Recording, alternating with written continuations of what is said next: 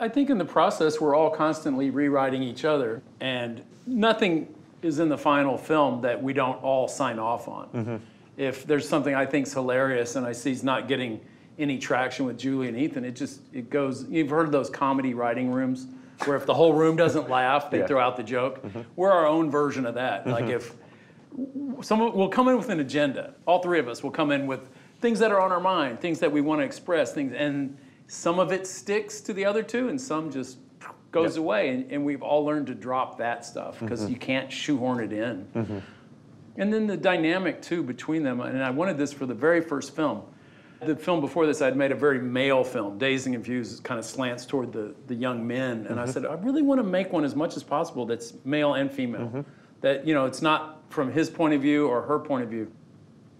it's good we all listen to each other, but I feel like because I'm the only woman in the room when we work, they both listen to me, maybe more than a usual kind of co-writing. I think we always end up having a, the three of us agreeing on what we're doing. It's kind of a good balance to have three people because it's not two people arguing. It's been a really magical dynamic all three times. Sometimes it gets down to simple like details, word choices. I don't like that word. Couldn't it be mm-hmm. this word? And sometimes it's super thematic.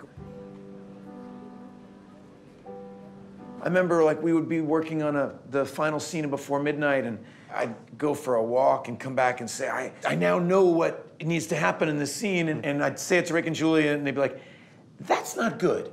But you're right that something's wrong there. Yeah. And I like that you are Yeah. feeling that way because that means she could say that and they'll be like, oh yeah, that's what I meant. Mm-hmm. And and so ideas that are okay quickly get revised twice Yeah, yeah, yeah, right.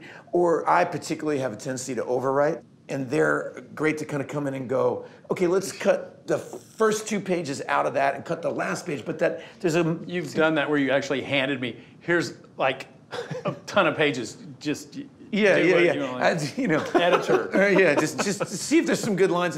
But I, and you know, Julie, this really stems from your level of honesty all the time.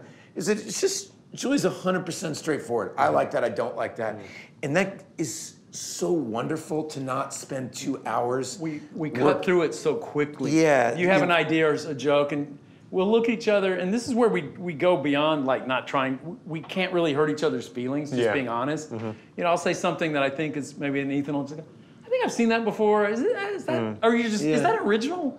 Have we heard this before anywhere? Is mm. it, eh, just drop it. It shouldn't be in our movie. that's the only way we're able to do those films, really. You know, you can fight for an idea, but if it doesn't talk to the two others, you know, eventually it's dropped, you know. And unless it's an idea that you'll fight all the way through, but I, I don't think we've ever had that fully.